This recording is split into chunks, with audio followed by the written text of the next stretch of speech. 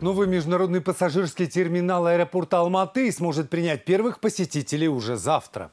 Как уверяет руководитель воздушного причала, он сможет выдержать подземные толчки магнитудой до 10 баллов, что актуально для жителей и гостей южной столицы. В преддверии запуска его посетил и глава государства. Накануне открытия терминала президента Казахстана проинформировали о ходе строительства и показали зоны регистрации таможенного и пограничного контроля, багажное отделение и другие объекты. Со слов главы воздушной гавани новый терминал возведен с соблюдением всех требований, требований пожарной и сейсмической безопасности. Он станет первым в Центральной Азии, обладающим международной сертификацией зеленого строительства. Его площадь составляет почти 54 тысячи квадратов. Там установлено 50 стоек регистрации с учетом обновления действующего терминала.